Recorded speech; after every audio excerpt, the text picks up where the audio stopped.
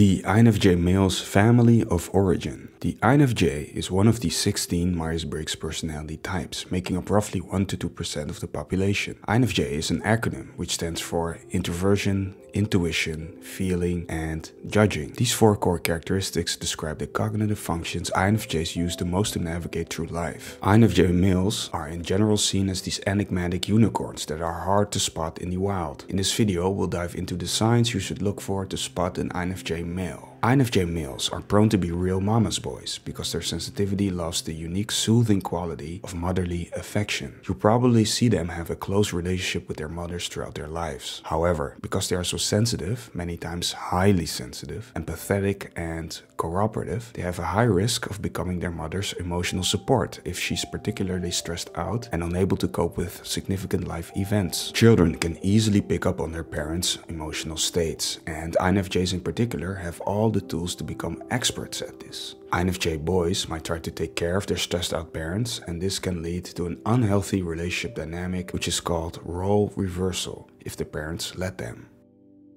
High risk of parentification. You will often see that the INFJ son became the new man of the house when his parents divorced. Emotionally, physically, or financially, he might be supporting one or both of his parents from an unhealthy age. This is called parentification or role reversal, where the child now takes care of the parent. Short term, this coping strategy might help getting the INFJ boy's needs met, because when his parents are less stressed because of his support, they are more capable of taking care of him. Sadly, long term, this coping coping strategy often leads to an unhealthy sense of responsibility, depression, and resentment. A great part of their childhood was lost due to the role reversal. They have a high chance of not getting their needs met in childhood because parenting such a child requires more special care. It is almost in the same way that an orchid flower needs different treatment than a cactus. Heartbreakingly, you'll see that INFJ males often have a complicated relationship with their parents when parenting was lacking too much. For instance, if they weren't accepted for who they were as children, you'll see them avoiding their family. Even though that nurturing, sensitive, and pleasing side of INFJ boys helped them survive childhood by taking care of their stressed out parents, so that the parents in turn could still take care of the INFJ boy, paradoxically, INFJ boys might have been shamed for this sensitivity as it most likely didn't fit into the parents' idea of what a man is supposed to be. This toxic dynamic has led to shame, depression, and low self-esteem for many INFJ men. If they had to emotionally take care of one of their parents as an adult, you might still see them supporting their parents a lot. When they weren't accepted and also made into emotional counselors as children,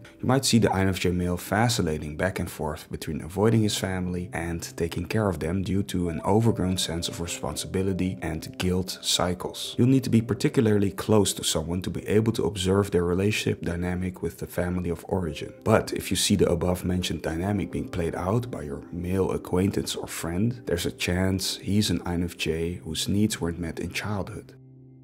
The INFJ male in conversations. During conversations with others, INFJ males tend to be excellent active listeners. They allow the other person a lot of space to talk and are sincerely interested in what the other has to say. You'll notice that he will be attentively listening to you like there's no one else around. He will nod a lot to encourage you to talk and to communicate that he's listening, creating a warm, receptive atmosphere. He'll keep strong eye contact mostly, but will also break eye contact abruptly when it gets too intense for the both of you. You'll see him act actively think about what you said and interrupt you gently to ask deeper questions about those things. This might be prefaced by paraphrasing what you were saying for greater clarity. You'll notice that the conversations with INFJ males tend to drift towards a more underlying core layer of whatever you are talking about.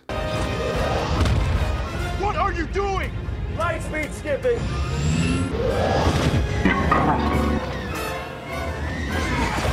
For example, you might start off talking about your clothing style and end up talking about why you should pursue your dreams as a clothing designer meaning he uncovered your underlying burning passion. INFJ males are good at uncovering your core essence and will celebrate its beauty. You'll notice that in conversations with an INFJ man, you'll feel seen and understood. You might even tell him things you haven't told friends even though you just met him. Afterwards, you realize that you actually know very little about the INFJ man because you were talking 90% of the time. You try to remember asking him all the questions next time to show more interest. But after the second time, you find yourself talking the whole time again. What is happening? An INFJ male, that's what's happening.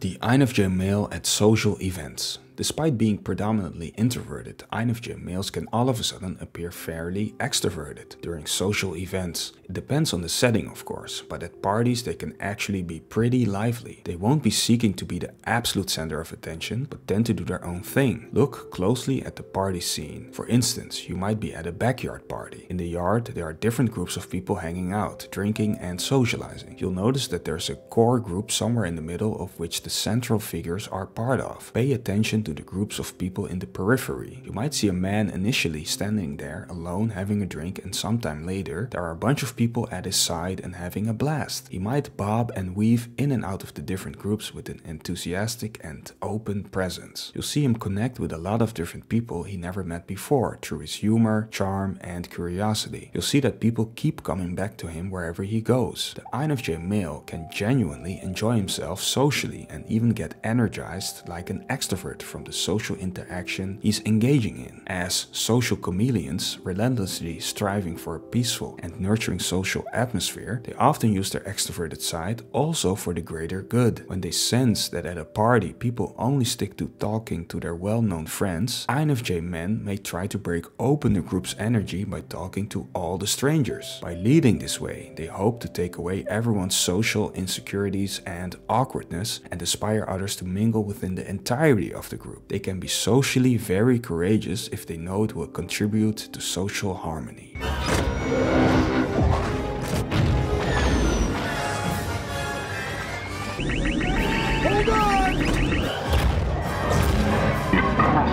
If you observe these things, chances are it is a socially developed INFJ male.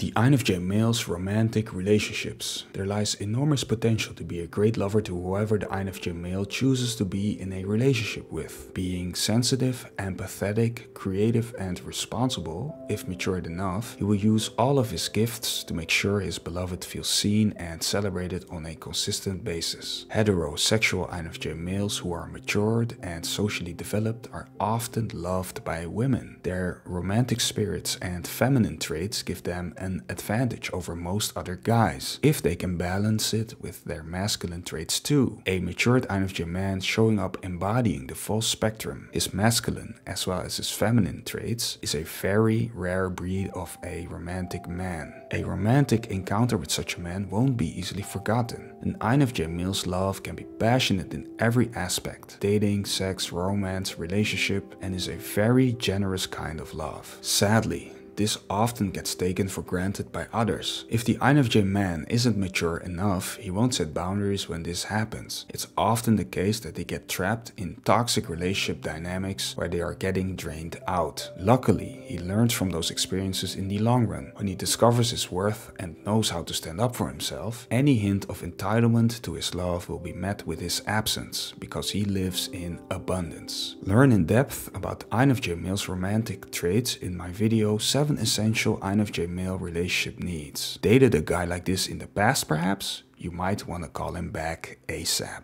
The INFJ male's friendships. The group of friends of the INFJ male is a carefully handpicked bunch of people. Typically, his best friends are trustworthy, authentic, open-minded, inspiring, empathetic people with integrity. As the mature INFJ male is a treasure hunter or beauty seeker himself, he likes to band together with others who are in love with life just like he is. Becoming friends with an INFJ male might take a long time because he has to screen your essence on being pure-hearted. Once you're in, the friendship is formed with the intention to last a lifetime. As such, INFJ males will do almost anything for their friends and will protect them at all cost. The INFJ male's daily routines and mindset. INFJs are known to be dreamers who also take actual steps towards making those dreams reality. For INFJ males, it is very important to work towards their life goals on a daily basis to maintain a sense of purpose. Our days might be carefully planned with different time slots for whatever we need to do. To speak a bit personal, my iCalendar has 15 different categories with each its own color. Yes, absolutely crazy, I know. Color coordinated schedules are a thing for us, but it can also be coordinated differently, as long as it makes sense to the user. We like structure and efficiency to be able to do as much work as we can. In general, INFJ males are prone to be growth oriented and organized in their goal achievement. Yet, the amount of structure varies between each individual, of course. Not every INFJ male has obsessive compulsive tendencies, but it can definitely reach those levels. The downside of the paradox of being structured and creative and open at the same time is that we can dwell on how well we categorize everything. Our creativity and perfectionism might push us to such a granular level of categorizing and structuring that it distracts from the actual execution of the action plan. Creatives are known to be night owls, so many INFJ males tend to be night owls too. We enjoy the calm and soothing quality of nighttime to do a lot of our thinking. What's more is that we get a lot of energy from our creative thoughts. But by being particularly inspired by certain creative thoughts at night, we have trouble sleeping. With society at large running on an early bird schedule, we INFJ males are in many cases sleep deprived